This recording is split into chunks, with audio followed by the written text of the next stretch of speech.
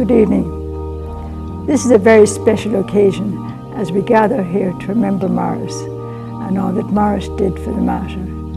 It is wonderful that we are now fundraising for a new hybrid theatre which will be named after him. We have so many happy memories.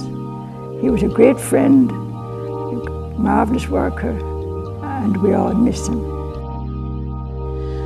I had the great pleasure of working with Maurice Neligan over a long number of years.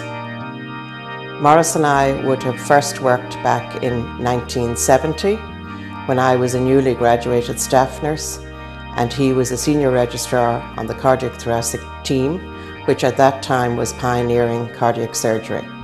I was working in the intensive care unit. Maurice was very proud of his daughter Sarah that she chose nursing as a profession.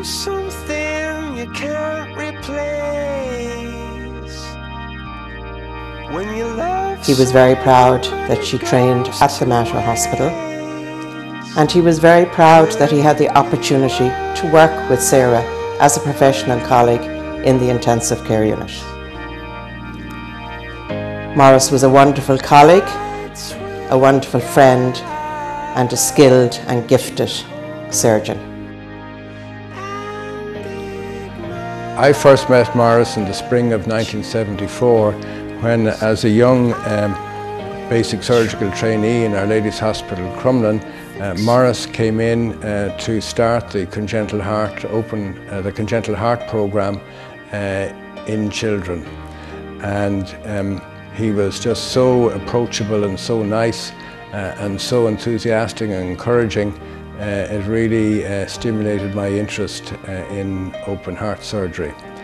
Later on I had the privilege of working with them as a, a registrar before I left to um, go to Belfast as a senior register. Um, it was a real privilege coming back in 1983 to uh, work with them as a colleague. Uh, we operated on uh, Eddie Kelly uh, in uh, September 1985 and fortunately uh, that went very well and that was the beginning of the programme. But it was just an example of Maurice's um, great enthusiasm, but not just his enthusiasm, his intellectual and abilities and his breadth of knowledge uh, in medical matters, in particular uh, surgery. Uh, he encouraged the development of uh, intensive care uh, and all the associated specialties that were necessary to get cardiac surgery to its present standard. And for 30 years or more, uh, I was very fortunate to consider him as a colleague and trusted friend.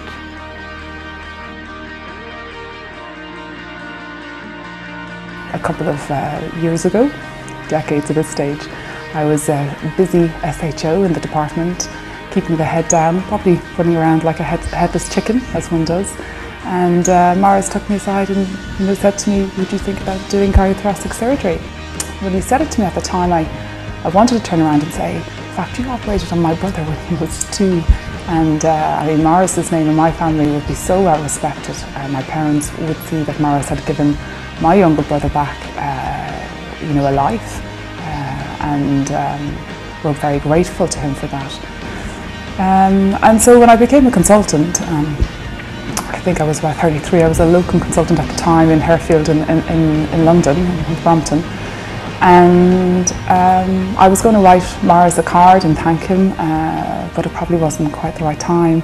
And uh, I regret uh, not being able to to say thank you to him. And I'd had hoped that I would have met him face to face and shook his hand and, you know, uh, thank him for all his effort over the years. Uh, but unfortunately he passed away before I got a chance to come back to Ireland to say that to him. So uh, I'm just possibly sending, saying this to his family now and um, this is just a tribute to him and to, you know, to say how, how such a great man he was.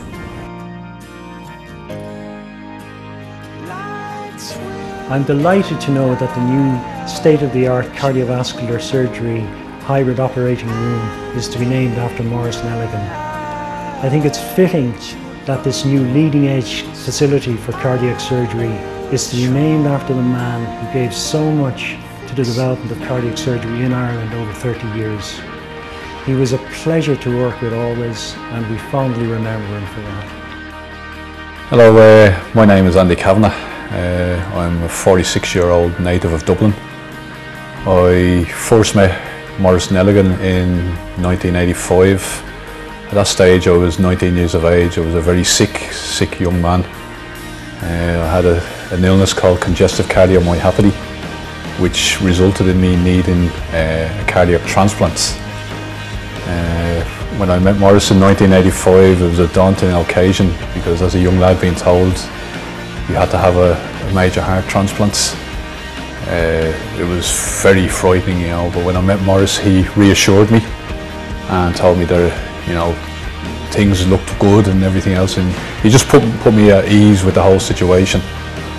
And in 1986, May of 1986, I successfully had a heart transplant, which was performed by Maurice and 27 years later I am still active, alive, working. Uh, I've been, I've was married since then. I have a lovely daughter of 23 years of age, and I cycle 15 to 20 miles most days of the week after work. And this is all down to the greatness of Maurice Neligan because without people like him, having the foresight and the knowledge of being able to carry out this sort of surgery, these things would not be possible at all. And I'd like to extend my sincere gratitude to Maurice and to his family as well. I, like many others, had the pleasure to know Maurice Neligan. Um, he was a typical Irishman in many ways. He was very much a family man. Um, loved Pat dearly and told a lot of stories about her. Uh, most of them uh, quite funny with some ridicule at times. He was very proud of all of his seven uh, children equally and uh, often uh, told stories about them as well and, and, inevitably it was funny and someone was uh, being slagged. Um, he worked hard, um, worked extremely hard, but he also enjoyed life as well. He was very popular and loved um, getting down to places like uh, uh, and Kerry and places where he met uh, what he has called where his real friends and he could just literally say anything to them and um, and uh, he had great uh, privacy down there. As regards training, he was a great uh, mentor and I, I think the reason he was maybe is because he had part of it anyway because he had seven children. He was very patient and um, and he always saw the good in what you were trying to do as regards trainees in, in uh, medicine or surgery or uh, the nursing staff or perfusion or, or any of the disciplines. Um, but I remember one point early in my career really noticing that a student nurse uh, was scrubbed with him and she was very young and junior and uh, obviously uh, it was, was uh, a challenging day for her but she was put in to scrub with him um, because of his gentleness and his kindness and his patience. And she handed him the first three needles for the first three grafts, and the needle was pointing the wrong way on the needle holder each time. And the third time, and he never said anything, but the third time she copped it because he changed the needle each time. And she said, Oh, sorry, Mr. Neligan. And he just said, Oh, that's okay, love. And on he went with the operation. And I just thought if her parents could have seen the interaction, they'd have been very proud um, of that interaction in that theatre. And that was Maurice Neligan. Lights will guide you home and ignite